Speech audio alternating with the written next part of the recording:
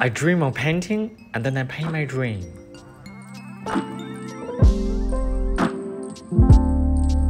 The imaginative quality of this painting may suggest that Vincent van Gogh believed in the power of the human mind to create and perceive beauty.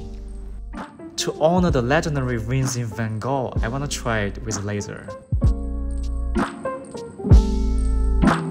I'm gonna make a testing array for color engraving. Color engraving is a metal oxidation process. If the desired color is not achieved, repeat the process to create a thicker oxide layer. Colors can be stacked in the specified order, but reversing the sequence is not possible. Firstly, I'm going to use Adobe AI to convert a bitmap image to a vector by tracing image with 16 colors, and then reducing the color limit to 8 to simplify the process. Next, let's expand and separate colors.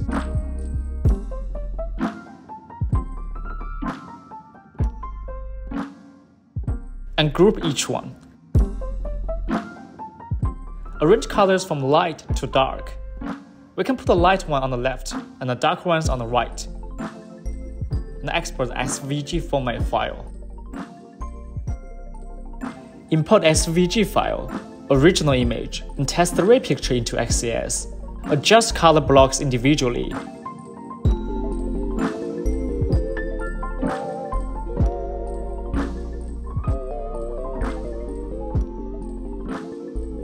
and restore original positions. The image is now ready. Laser light shimmering like stars in the dark blue sky, immersing us in the boundless solitude of nature.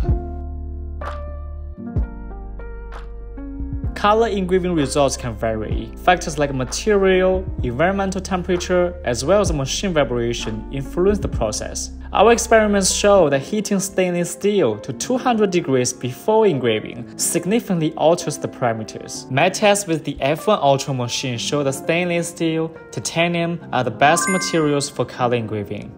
Aluminum, copper, tin, and other materials are not suitable. Feel free to experiment and share your results in the comments.